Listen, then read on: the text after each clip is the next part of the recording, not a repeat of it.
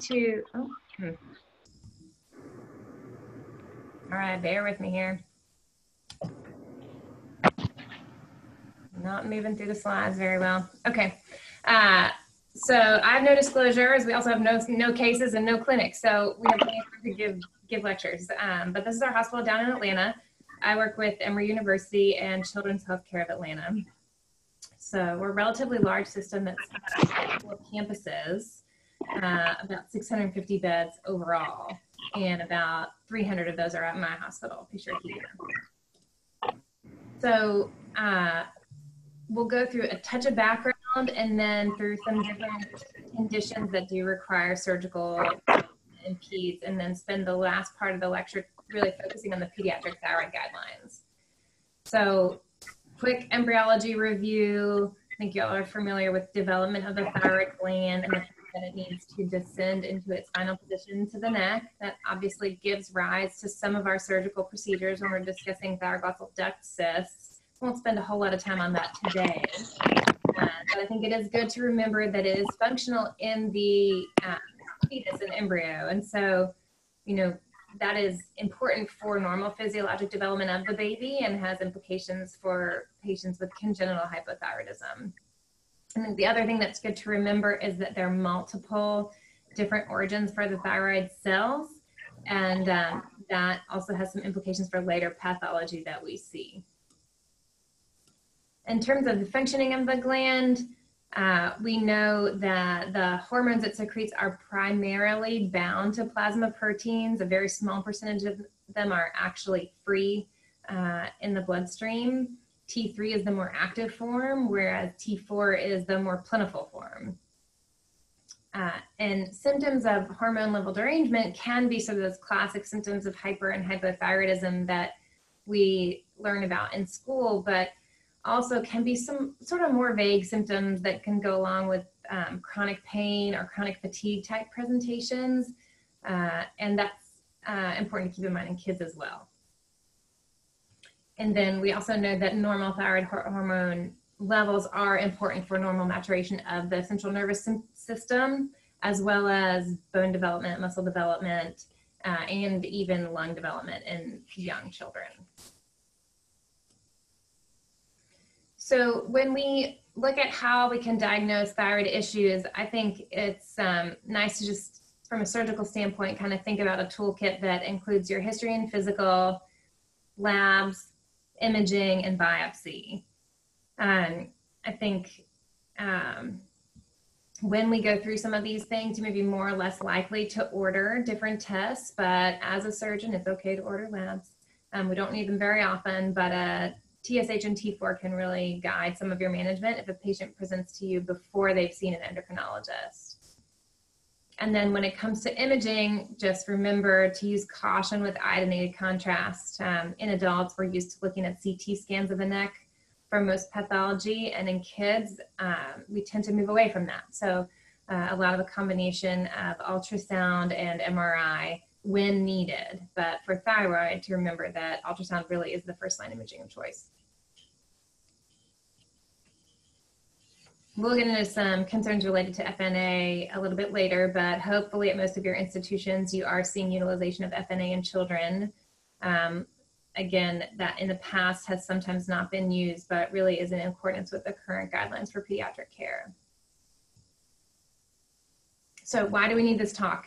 Um, I think uh, important to remember that management of thyroid disease in children is not the same as it is in adults, and that has to do with both the prevalence of pathology within thyroid nodules in children and um, their response to treatment and, and the long-term implications of their treatment. So, um, you know, if you haven't made yourself familiar with the 2015 pediatric guidelines for uh, thyroid nodule care, that is a great thing to review and keep in mind the uh, revision of those guidelines should be coming out very soon. Uh, but that has really sort of changed the way that we take care of kids in this country. Um, you know, nodules in adults are overwhelmingly benign, but in kids, up to a quarter of them might be malignant. So we just need to take care of them in a slightly different way. Um, also important for when you are educating your patient's family members because a lot of adults will know someone who's been treated for thyroid disease. It's relatively common amongst adults. But again, if they're treating their child, it's going to be treated in a different way.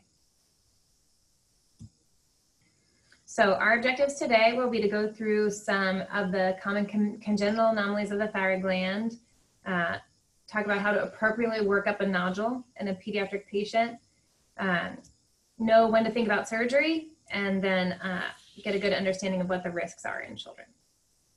We'll take a case-based approach from here on out. So the first thing we're going to go over is a six-year-old girl with lingual thyroid. So this patient was diagnosed with hypothyroidism based on her newborn screen and supplemented with levothyroxine until about age three uh, and then trialed off of medication. So that's a really common course in children with congenital hypothyroidism. They're typically supplemented through their toddler years and then trialed off medication to see if they have uh, a gland that will function adequately on its own. So she had had an ultrasound already uh, at birth that showed a thyroid gland, a small gland, but showed a gland in the fossa. And they had weaned her medications, and around um, age five, she presented with a visible lump in the back of her tongue. So when she came to see me at age six, the reason for that was new onset of snoring and some mild dysphagia. She wasn't having any trouble actually getting her food down, but just kind of complaining that it felt weird to swallow and avoiding some chewier foods like meats and things like that. So a lingual thyroid looks a lot like this picture. You know, it's kind of a rubbery mass. It almost looks like a third tonsil back there, except it tends to have this sort of lacy overlying vasculature that you can see here. Um, they're relatively rare. Um, they do have a female preponderance, pardon me, and we can see enlargement brought on by different life stages. So puberty, pregnancy, menopause, some people say even stress can cause enlargement. Um, but they tend to be diagnosed a little bit later in life because of that. Oftentimes they're not noticed immediately. So is the most common location for ectopic thyroid tissue, that means functioning tissue. Uh, and in about 70% of patients, it will be their only thyroid tissue.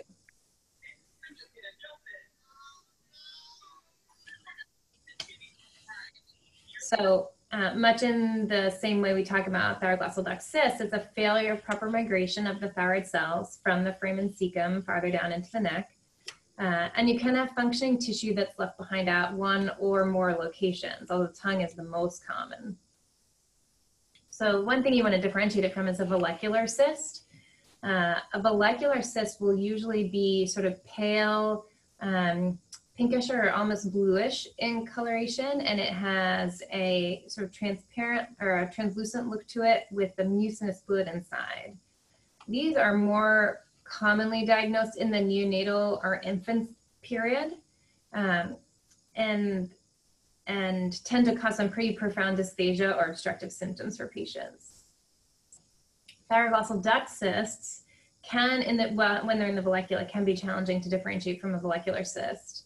Um, but you would differentiate that from lingual thyroid based on the fact that it is cystic uh, and then it is inert, right? This uh, thyroglossal duct cyst by definition does not have active thyroid tissue in it. Um, so the present presenting symptoms typically would be a visible mass, maybe dysphagia, in kids or adults, new onset snoring or obstructive symptoms. And then there's a chance of having compressive symptoms. That's relatively unusual.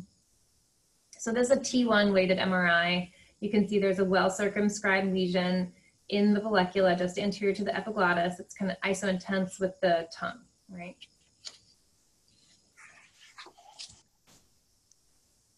So as an ENT, you would be looking at physical exam. Uh, you want to consider an ultrasound, make sure there is a gland in the fossa. Sometimes there won't be. Nuclear medicine scan is not something that I typically order uh, although you may get a referral if a patient who's already had it done, especially if you have a gland in addition to the lingual thyroid tissue. And you would just see the activity concentrated in the oropharynx rather than in the anterior neck where you would expect.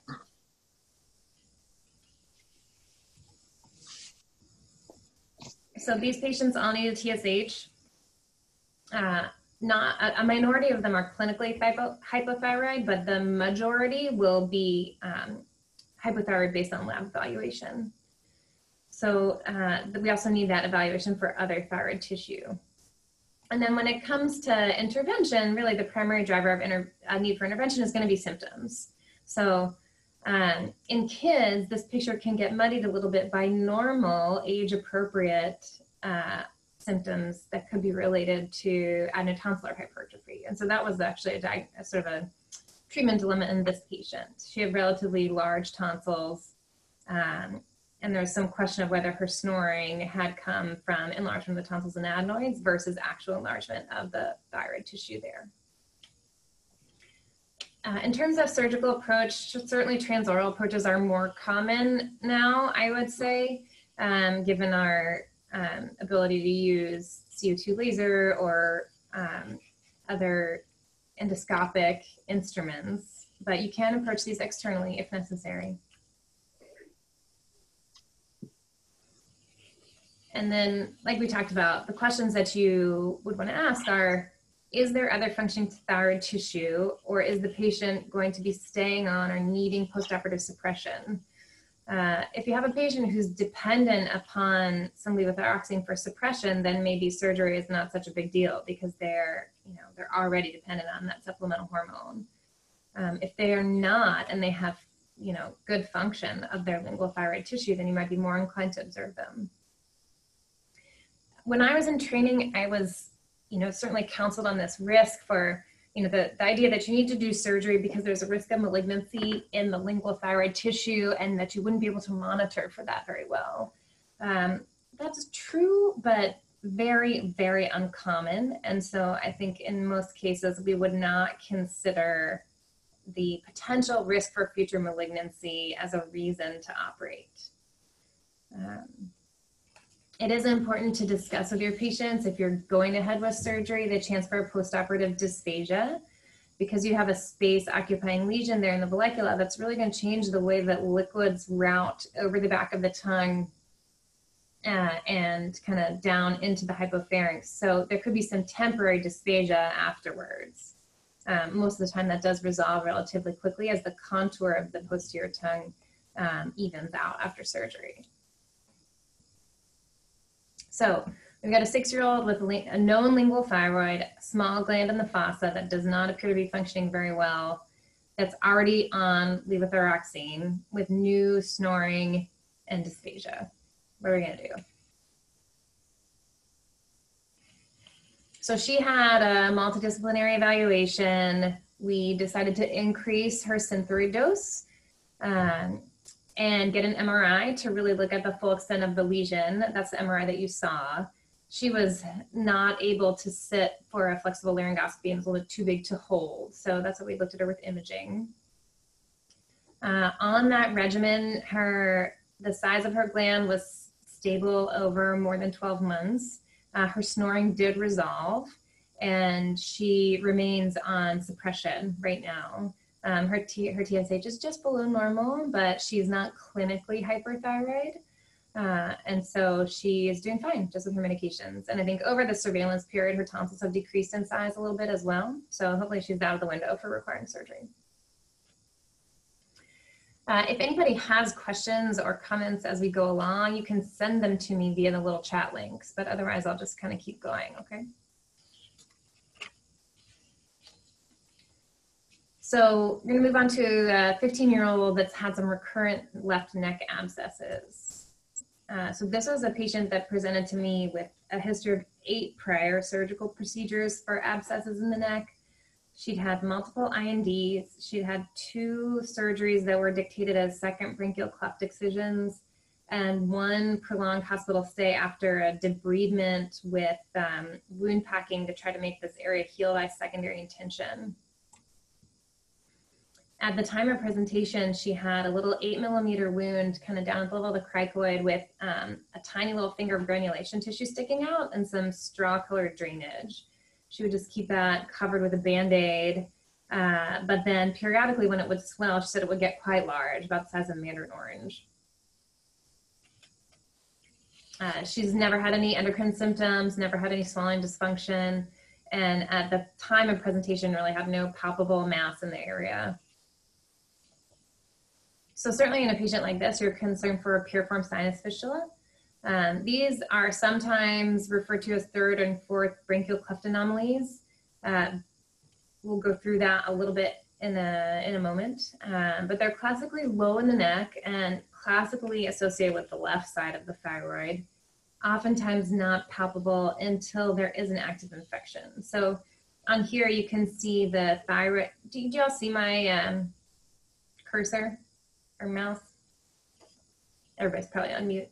Um, but you have the thyroid gland labeled as well as the trachea, and you see this abscess cavity with the asterisk um, right here between the SCM and the strap muscles, which is a really typical location.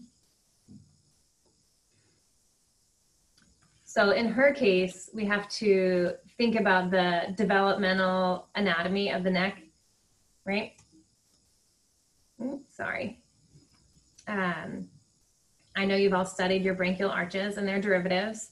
And I think when it comes to the branchial cleft anomalies, for me at least, the easiest way to remember them is just to remember the associated nerve and then understand that the anomaly is going to run deep to the nerve and structures innervated by that same arch and superficial to the higher level arches, right? So a third cleft or um, arch anomaly is going to run deep to cranial nerve 9 and its associated structures and superficial to the fourth arch structures. Um, because third and fourth arch um, anomalies are so rare and because they rarely present with the full course of the of the anomaly sort of looping down into the mediastinum and back superiorly we kind of moved away from differentiating them between third and fourth arch and just lumped the two of them together as piriform sinus fistulas, since both of them will enter into um, exit into the piriform. So piriform sinuses are these sort of pyramidal shaped uh, areas at the backside of the larynx and hypopharynx that serve as part of the funneling mechanism for food and liquids during swallowing.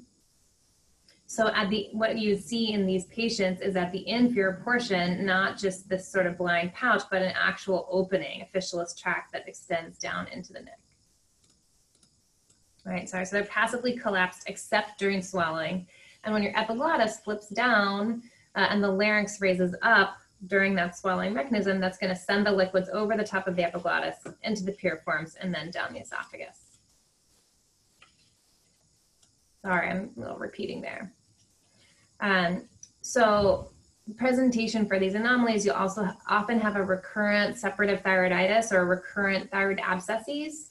Um, any patient, certainly pediatric patient with a history of recurrent procedures for neck abscesses is someone to consider. And then this is what this patient had, which is the real kind of tip off, is she had a bunch of oral bacteria on her prior abscess um, cultures, right? So if you're getting oral bacteria down in the low neck, then you know there's got to be a connection there somewhere.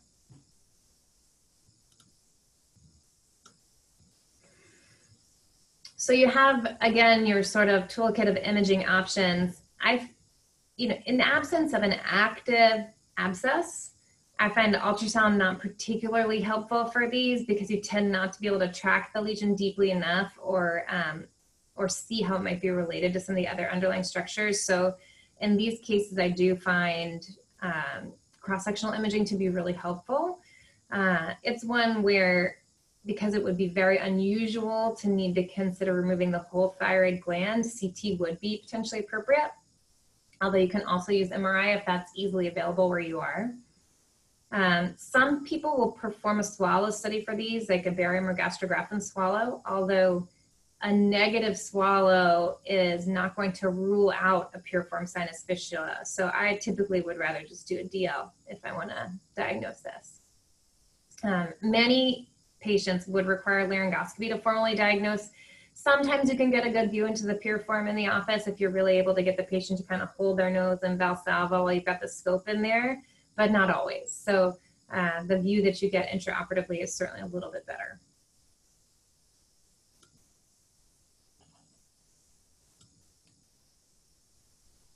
So when you talk about surgery for patients like this, you know, certainly you want to think about the prior surgeries they've had, what kind of scar tissue they might have, or uh, how planes might be distorted. Um, you want to know if there's an active cyst at the time of surgery or not. In this patient, as you can see from the scan, she just has this kind of fistulous tract sitting there uh, without a big collection. And then you would want to know the extent of the connection from the piriform to the thyroid.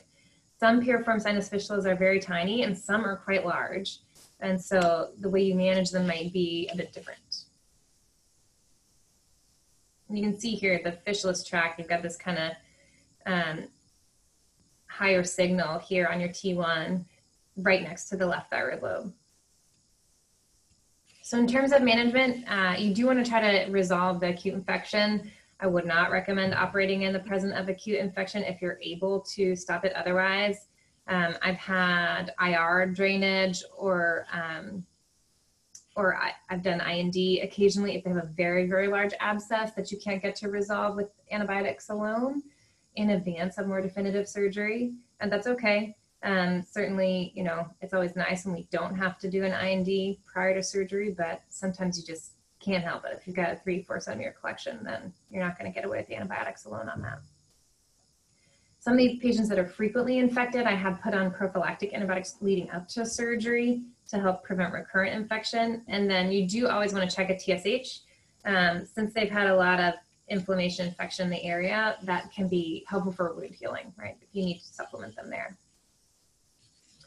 So when it comes to surgery, you want to confirm that diagnosis with a laryngoscopy, and you do have to treat both a fistula in the piriform sinus as well as the lesion in the neck. Um, there are times when it can be sufficient to only treat the fistula. If you have a uh, either a passively collapsed tract in the neck or a very small non-infected fluid collection, I have seen it work to just treat the fistula and leave the um, small, you know, pathway or or collection in the neck alone. But larger cysts certainly you're going to have to remove. I think you need to be prepared and prepare your patient adequately to do a hemithyroid for these cases. So um, again, we have a 15 year old with these multiply recurring abscesses, intimately associated with the gland, oral flora on her cultures, and then this draining wound down here. So pretty compelling diagnosis, even without seeing laryngoscopy. We were not surprised when it came to surgery. Um, this is her actual laryngoscopy where you can see her esophageal opening here, and this is her piriform where it doesn't have that nice little pouch here, but instead has a, instead has a pathway extending deep down into the neck. So with these, the way that I will usually treat them is with a Bugbee um, cautery electrode. So it's the one that urology oftentimes uses, but it's a tiny little wire with a cautery tip and you can thread it down into the pathway and do some judicious cautery there.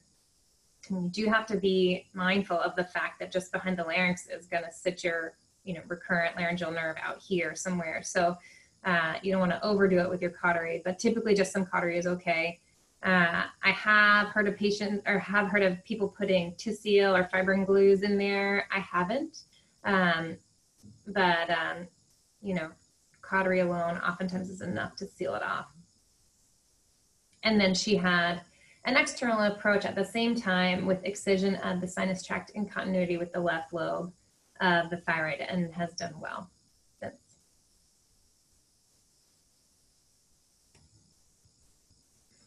All right, so from here, we're gonna go on to nodules, just because that's, I think, the, the kind of bulk of the discussion here. So this was a 14 year old who came to see me really just for allergy and nasal congestion and had a thyroid nodule picked up on physical exam, about two centimeter nodule. So we have some options, right? Um, in adult world, you might reevaluate the nodule in a few months. You might check a TSH. You might request an ultrasound. You could order a, a CT or an MRI since it's a little bit larger. You could order a biopsy, right? in this patient, uh, initially started with a TSH and an ultrasound. Uh, I think in a larger size nodule, if you're pretty confident in your exam, you could consider going immediately to FNA. But um, I think I like to personally just start with the, the regular ultrasound because if it turns out it looks like just a colloid cyst, even if it's large, you might be um, just leaving it alone. So we know that thyroid nodules are present in about 2% of kids, um, some palpable, some incidentally noted. Um, but by the time we get to adolescence, that percentage goes way up. So uh, especially in females, you can see them in about 13% of adolescents. Um, we have some high risk patients that we do screen for thyroid pathology, and those are primarily our childhood cancer survivors who, uh, especially those have been treated with radiation. And then some of our syndromic patients uh, also may be screened or followed for these nodules or for um, potential generation of nodules. So big difference uh, here is that in children, thyroid nodules are much more likely to be malignant than they are in adults. Uh, and then we know that children presenting with thyroid cancer are much more likely to have um, disease external to the thyroid upon presentation than are adults, right? So they may come to you with an actual visible, visible or palpable lump. Um, occasionally they present with uh, endocrinologic symptoms, right, of hyper or hypothyroidism. Uh, dysphagia, voice change, breathing difficulty are much less common, although I have had all of those as presenting symptoms. Uh, and then sometimes we'll just pick them up incidentally, you know, especially in our brain tumor population when they're getting uh, screening after they've been definitively treated. Every now and then we'll pick up thyroid lesions um, on their sagittal exams that happen to come all the way down through the neck. So um, ultrasound, same as adults, is the imaging modality of choice. Now that comes with a, a bit of an asterisk in that you need to work with your local ultrasound team to make sure they understand how to do a good ultrasound of the thyroid or thyroid concerns in children. I know we've done a lot of work with our radiology department on developing synoptic reporting for thyroid nodules here and on automatically triggering lateral neck ultrasound when the tech finds a solid nodule in the thyroid bed. That's not something that's very commonly done. And so oftentimes you'll get these ultrasound reports back where you request an ultrasound of the thyroid, they tell you all about the nodule, and that's it. You know, no one says anything about the neck, nobody interrogated the lateral neck, then you might be having to send patients back to go get an evaluation for lymphadenopathy. So if you think pediatric thyroid disease is going to be a big part of your practice, I think it really pays to develop a good relationship with your ultrasound team uh, and work with them a bit on how you can streamline some of those um, diagnostic needs. So TI-RADS criteria are used in children the same as they are in adults, where they sort of look at vascularity, microcalcifications. Um, you'll see, you'll see um, delineation of the width and height of the lesion, where they talk about taller than wide or wider than tall. Um, that is usually done on an axial view uh, and can have implication for whether or not a nodule could be malignant. And much in the same way you would on cross-sectional imaging to look at sort of the irregularity of the borders, potential infiltrative characteristics. If you have a solid nodule, then that lateral neck ultrasound does become much more important. If that shows a lot of uh, lymphadenopathy, then uh, cross-sectional imaging might come into play. Um, you have to remember to really use caution with studies that would require iodinated contrast because that can have implications for when you can subsequently give radioactive iodine. So if somebody gets evaluated with a CT with contrast, you find they have thyroid cancer, do their surgery, you're really going to be pushed back about eight weeks uh, in terms of when you could potentially do their radioactive iodine. So FNA, right? Uh, in the past, I would say that FNA is not used very often in kids because there's this sort of feeling that, hey, if I'm going to have to sedate the patient for a biopsy, then I might as well just anesthetize them and do a lobectomy. right? And we'll talk a little bit more about this in some coming slides, but uh, the the ATA guidelines really are trying to encourage more use of FNA in kids um, because that can increase the chances that you're going to do the right surgery for the patient the first time. Uh, the Bethesda scoring criteria are used for pediatric FNA, but um, we'll see that they do have slightly different chance of malignancy based on the classification, the Bethesda class. So classically, nodules greater than a centimeter, suspicious findings, documented enlargement, or um, are all candidates for biopsy, although size alone, um, because in kids the gland can be smaller, size alone should not be the only criteria used, right? So just because you're under one centimeter, if you have some of these other concerning findings, you may still consider an FNA in children. Also really important to remember that a diffusely enlarged gland um, or um, heterogeneous gland in patients that have lateral cervical lymphadenopathy can also be an indication for biopsy. Um, PTC can present in an infiltrative form in children that really just has the whole gland sort of heterogeneously involved. So that can be another, another tip. So in red here are highlighted the, um, this is from a, a, 2016 study looking at just results in children. So the black numbers are chance of malignancy in adults, and then those red numbers are chance of malignancy in children. And so you can really see that um, that kind of progression of increasing chance of malignancy is maintained, but at an even higher percentage in the more concerning biopsy categories. So um, in some of these patients, in adults, these indeterminate patients where you may have considered a repeat FNA, especially if you end up in this suspicious for malignancy category, that's really somewhere where we wouldn't recommend an FNA and would just say proceed straight to surgery. Most pediatric FNAs are going to be done under ultrasound guidance just to increase, uh, improve the accuracy. Some kids require sedation, some kids don't if you topically anesthetize them well enough. Um, there are places that are doing this in the office, even for a lot of kids. Um, so I think uh, with some dedication and creativity, a lot of it can get done in a way that is relatively benign for the patients and not nearly as big of a deal as going for a diagnostic lobectomy. Ideally, uh, you do want to assess the specimen in real time just for adequacy uh, to help make sure you minimize the number of non-diagnostic specimens that you get, right? Because you really can't do anything with that information. So this is the same information, but just kind of presented in a flow chart from straight from the ATA guidelines, right? It's a little bit busy, but basically if you're concerned, especially in a hypofunctioning solid nodule, um, that's when you would get your FNA, right? Malignant is easy, benign is easy, and then these sort of inadequate or indeterminate specimens trickle down through, oh, sorry there, trickle down through a little bit of further management, um, with potential for surgery if you end up in that indeterminate or suspicious range.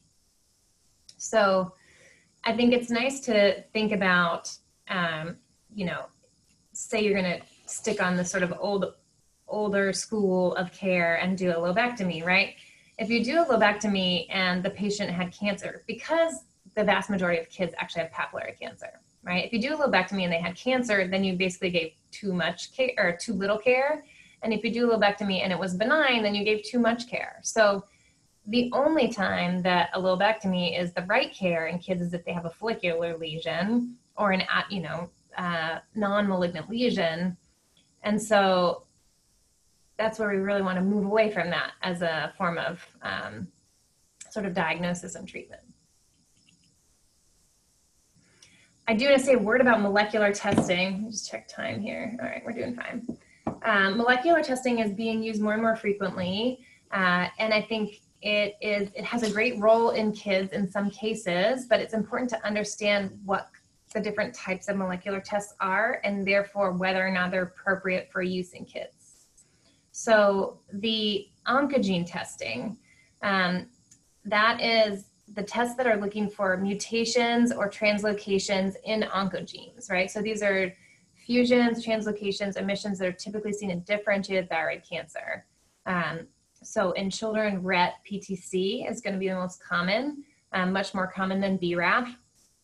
RAS we see frequently, and then there's the PAX8, PPAR gamma oncogenes. Um, those are the commercial tests that are sold uh, and marketed under the names of ThyroSeq, ThyGenX, Thyramir.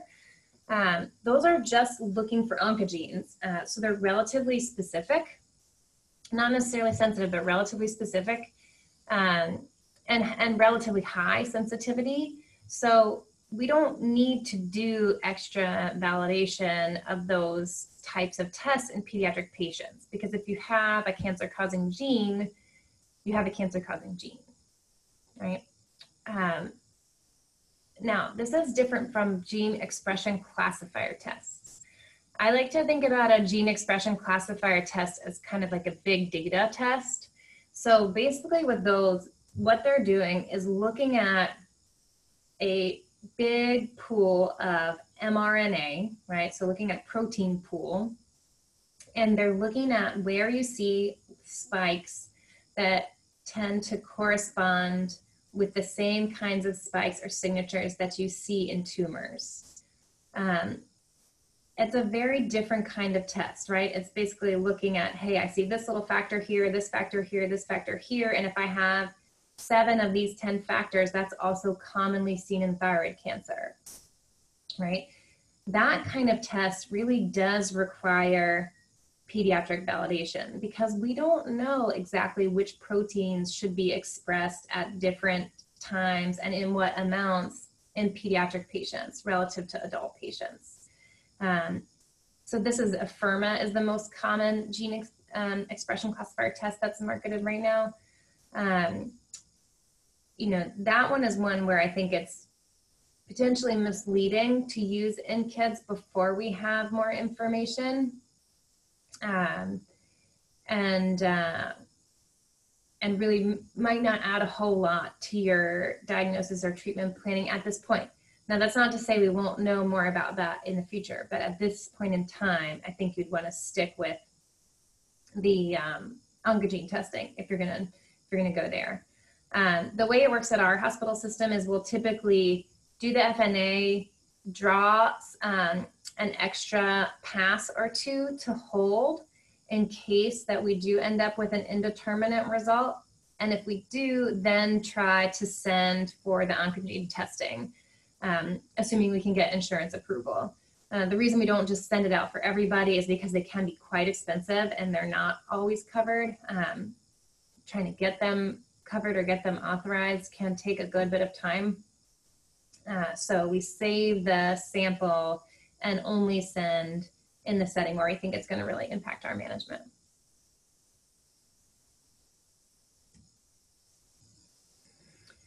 So when it comes to surgery, uh, again, important to know kids are not little adults, right? Surgical complication rates are just higher in kids. And that doesn't matter if you go to someone who's doing 100 thyroidectomies a year or if you go to someone who's doing one thyroid a year. Um, certainly higher volume is better. Uh, we know that in adults and we know that in kids, um, but complication rates are just higher. Um, kids' parathyroid glands are a little bit more twitchy and tend, the incidence of temporary hypocalcemia is much higher. Uh, we prep all of our families by letting them know that their, their calcium level is going to dip in the hospital and part of our algorithm or order set for getting them out is really watching that dip. And then when we see them kind of coming back up uh, and have them stabilize on their oral regimen, can think about sending them home.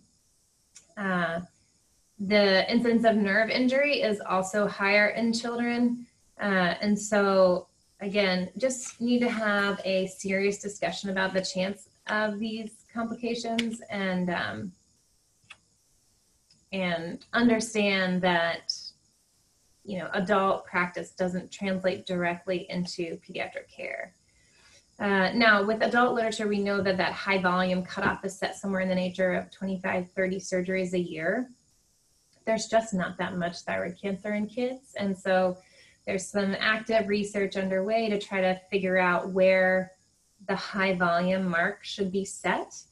Uh, and to try to figure out whether or not other surgical experience in the neck would kind of contribute to that volume number. but I think in the meantime, really, it's the type of thing that most most places with a active thyroid center are trying to consolidate those surgeries amongst a few surgeons only, and really try to keep everyone's um, skills very fresh and uh, practice numbers up.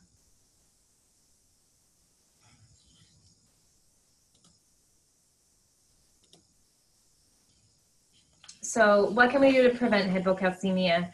Um, subcapsular dissection, so really getting right on the gland, uh, sometimes inside the capsule, which can be a little bit bloodier, but um, can increase your, your chances of really preserving that vascular supply to the glands. Um, reimplantation of devascularized glands. If you get to the end of the case and you've got a really dark purple para sitting out there, then you really might want to consider reimplanting those. Uh, typically, that's done in the SCM for most of our patients. We tend to mark the area with clips in case we're ever need to get back there again. Um, but within a few months, those will typically pick up and function again. Uh, with both pediatric and adult patients, you want to ensure they have ac- um, adequate vitamin D levels to make sure that they're making good use of the calcium precursors and um, and um, vitamin D precursors that they have. PTH monitoring is important. Uh, some places will do this intraoperatively, uh, and if not, then in a protocolized way postoperatively with much more frequent lab draws than you would typically see in adults. Uh, I know our order set is uh, every six hour draws in that first 12 to 24 hours, depending on where the PTH lands postoperatively and where the calcium levels seem to bottom out. Uh, with interve- sort of stage intervention, based on where it looks like you're headed with your calcium. Um, we do try as much as possible to avoid IV calcium supplementation just because of the potential complications there uh, and because it tends to be short acting, a little bit harder to stabilize. Uh, but that can mean lots of oral calcium, right? If you end up with really low levels or really low PTH, you can have kids on lots and lots and lots of Tums. So um, it's important consideration. Can sometimes lead to some interesting challenges once they go home with trying to get them to to chew and swallow that much supplemental calcium that many times a day. Uh, most of our patients are started on calcitriol. Uh, that can be quickly weaned afterwards if it's not necessary. Uh, but we do tend to start it for patients and just um, try to help keep things as stable as possible right after surgery. And then, you know, you get to remember that you may need to adjust your dosing a bit in Graves patients. Um, supplementation of both calcium and thyroid hormone is managed by our endocrine colleagues in the outpatient setting. Again, rapid tapering in some patients that can tolerate it, and slower in patients who may have significant lateral neck disease or more advanced surgery done. This is an area that's really right for QI protocols and implementation if you don't already have standardization of this post-op care at your institution. And um, certainly happy to discuss with anybody if you want to reach out about that afterwards. So when it comes to nerve injuries and nerve monitoring, uh, we do give all of our patients a pre-op or intra-op steroid dose. Um, I think most surgeons would agree that systematic dissection and identification is the excuse me the best way to present, prevent injury in pediatric cases. The nerve can be quite tiny, even in some of our adolescents. And so it's good to just keep an open mind about structures until you have confirmed diagnosis of where it is. Um, anything that looks like a candidate should be left alone. Um, we use nerve monitoring electrodes and endotracheal tubes um, you know, evidence would suggest that that does not reduce injury, um, but it does, I think, allow the ability to confirm integrity of the nerve at the end of the case, which can be quite nice, and um, allows confirmation of integrity of the nerve before you move to the contralateral side. So if you had a really challenging dissection or what looked to be potential tumor invasion, in some cases you may elect to stop the case after that hemi, you know, and you're not getting good signaling from your monitor you might stop the case after that hemithyroid and you know see what's going on in terms of functioning of the larynx before you move on to the contralateral side. Um, we had a recent case of a transient nerve palsy where that was done by the surgeon. Uh, there was a really challenging dissection on the tumor side, and he elected to stop the case after that side. Sure enough, the patient had a palsy resolved after about eight weeks, uh, and then he got booked for his completion thyroidectomy. Um, but that just really minimizes the chance that you have a patient waking up with a bilateral paralysis requiring some intervention that you wish you didn't have to do. Um, uh, signs and symptoms of a nerve paralysis afterwards are fairly typical, right? Stridor on awakening certainly is one. Um, hoarseness that lasts beyond that first 24 48 hours that you could try to associate with just the um, ET tube being there. And then I think the more you listen, the more you are able to recognize the difference between the kind of scratchy throat from having had an ET tube versus the real subtle diplophonia or breathiness that you might get from having a nerve out. We do try to confirm those complaints with laryngoscopy before patients leave the hospital, just so we have a good idea of our own complication rates and so that we can monitor for improvement both in terms of symptoms and function. Uh, if you have a unilateral nerve injury, uh, we would, you know, in most cases, just simply observe, wait for resolution. If you're, especially if you're relatively confident about the integrity of the nerve, there is potentially some benefit for post-op steroid use. Um, I think literature on that is still emerging, but there's some suggestion it might be beneficial. Uh, and in a few patients who seem really severely affected, even in terms of their, either in terms of their voice quality or their swallowing, uh, consider an injection laryngoplasty before they go home to try to help a bit. Um, bilateral cord paralysis, obviously the management there is a little bit more invasive. Some patients can be managed conservatively. Oftentimes, um, because it's very abrupt, uh, you have to kind of, if you're going to be able to manage them conservatively, you may have to put them on uh, non-invasive for a little while, like a BiPAP or CPAP, kind of help them uh, get accustomed to the new increased resistance in their breathing. Um, if you if that's not enough, then cordotomy or arytenoidectomy can be pursued endoscopically, depending on your level of confidence in, in one or both of those nerves coming back. Um, trach is always an option, and certainly on your oral boards is always an option that needs to be mentioned. We try to avoid that as much as possible, but there are times when it cannot be avoided, certainly. So this is a patient who had a temporary paresis after surgery. The, the, even though um, with this exam, you would probably assume that the right nerve was affected, it's actually the left. I think it just has a bit to do with the angle that the telescope is taking. And so when you inject, when you do an injection laryngoplasty, you're going to come out here just lateral to the thyroid muscle, and you're really trying to fill this space here, um, the kind of paraglottic space, to push the cord over. You ideally do not want the injection material getting into that superficial lamina propria. You don't want it to be affecting the uh, vibratory capacity of the vocal cord. Um, but you can see afterwards how this left side is shifted much closer to the midline so that we can hopefully get better approximation from the right. Um, this little dip back here near the vocal process is not a place that you can really do a ton about in terms of your injections. Um, really, you're, you're going to work kind of as posteriorly as you can up in this space. Um, but this was able to give the patient um, the ability to drink fine without any um, symptoms of aspiration and gave her some better voice quality while she waited on function to come back, which it did um, I usually tell patients to expect two to three months. Sometimes it comes sooner, um, but usually it is a little bit slow. Uh, and so I think if you set a long-term time frame, that tends to lead to a little bit less dissatisfaction. All right, so, you know, why did we develop pediatric guidelines? The main reason there is that um, there's a history, especially in this country and in, in a lot of places in Europe, of overtreatment, right? Children are generally pretty unlikely to die of thyroid cancer, even those who present with significant either lateral neck disease or mediastinal metastases.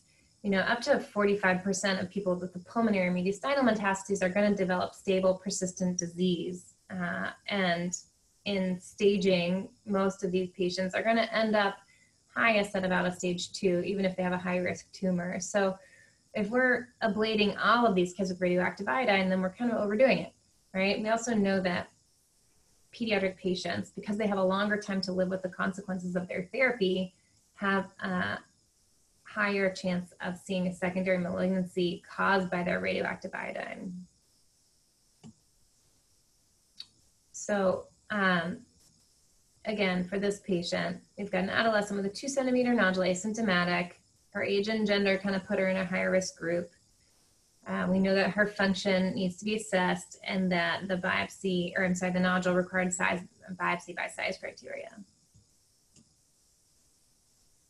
So her initial ultrasound was pretty consistent with physical exam, about a two centimeter nodule, um, but just solid and relatively homogeneous.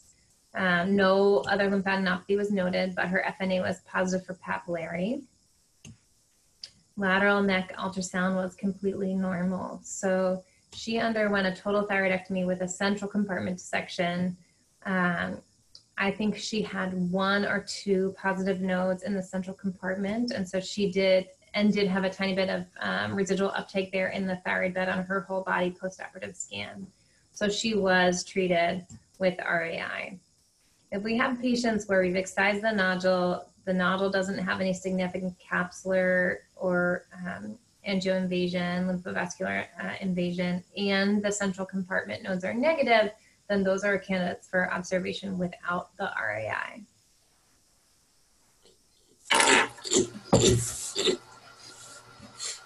You have a question? All right, so other surgical indications, um, we do have some patients, oh, we're getting short on time. So some patients have symptomatic goiter. Graves' disease is a surgical indication a little bit more frequently in kids than in adults, both because it can be harder to obtain full response and because of the higher chance of relapse. Um, so I'm gonna zip through a couple of these so we have a few minutes for questions. Uh, our medullary patients are a specific population, obviously a smaller group but specific. Um, and they now, rather than grouping simply into these three main groups of 2A, 2B, and familial medullary thyroid cancer, we're getting into an area of um, codon specific recommendations. So, um, based on the relative risk associated with different codon mutations, um, some of these are high, considered higher risk, like, and some of them are considered lower risk. And so, when you choose to surgically intervene might be based on the risk profile of the actual mutation. So this is the place where we're really making some progress with individualized medicine and genetic testing. Um, the, the farther out you can delay the surgery, then the lower your risk of complications. So that's why you'd want to take this kind of more uh, phased approach. However, I will say it's hard to find a family where you tell them that their, their kid is going to get thyroid cancer for sure one day and they want to delay surgery. So all of this is um, you know, done in the context of uh, family discussion, right? All right, so um, we'll skip this. All right, so to summarize, right, ectopic thyroid tissue can be found anywhere along the path of descent, but really most commonly in the tongue. We only have to operate on lingual thyroid tissue if it's causing symptoms, right? Uh, we talked about recurrent suppurative thyroiditis and the association with third and fourth branchial anomalies or piriform sinus fistulas and how we might manage that. And we went through nodules in pediatric patients, appropriate workup, and judicious use of surgery when required. Um, with you know, and discussing this kind of all within the context of the pediatric care guidelines. So I think we want to really balance in our pediatric care the risk of the pathology with the risk of the treatment that we're providing. And remember that our our care over the long term can be associated with some harm. And so that's where the guidelines came into place uh, to try to make sure that we're in better balance with those two. All right i think that's it for us. So this is our team here at emory um, who contributes to our care. And if anyone has questions you can either send them in via chat or um, if they're not too many then we can probably just discuss them orally.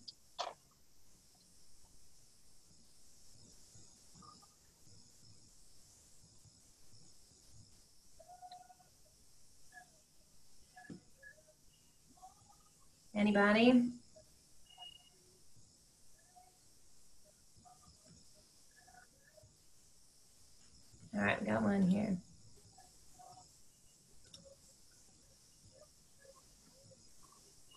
Can, okay, so I have one that says, can you talk briefly about malignancy found in ectopic thyroid tissue as to what steps you would take in surveillance? So that's a great question and sort of an interesting one.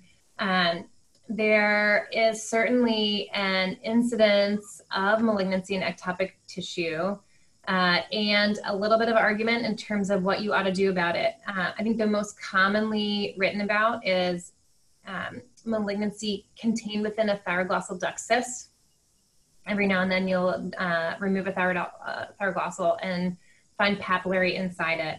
And so literature-based recommendations for that would suggest that if you have a totally normal thyroid gland and the papillary was fully contained within the thyroglossal duct cyst, that you don't necessarily need to remove the thyroid. Um, obviously, if you leave the gland in place, you can't monitor thyroglobulin. And you're going to have to be doing relatively frequent surveillance of the gland in the postoperative period to make sure that you don't see a tumor developing there that could have been maybe microscopic or not picked up by imaging that was the source. But most people agree that if the only site of disease is within the thyroglossal duct cyst, there's no lateral neck lymphadenopathy, then it's likely a primary of that location and therefore not a metastasis. Therefore, the thyroid gland does not need to be removed. Now, with that caveat, I will say that I took care of a patient who had um, a really sort of nasty infiltrative cancer in a thyroglossal duct cyst um, so kind of up here in the submental region. And because it was clearly invasive into some of the surrounding musculature in that patient, we did elect to do a thyroidectomy and treat with radioactive iodine um, because it was pretty clear that there was some microscopic spread of disease. So I think in lingual thyroid, you'd be in the same situation. That's really something that you're going to find case reports about, I think, only. Uh, so if the if there is a gland and the gland is entirely normal, then I think it would be reasonable to follow the patient with surveillance ultrasounds as long as there's no cervical lymphadenopathy. Um, but if you have either evidence of uh, lateral neck disease or nodules in the gland itself, then uh, I think you would want to treat that in a way that would allow you to potentially deliver that radioactive iodine. Great question.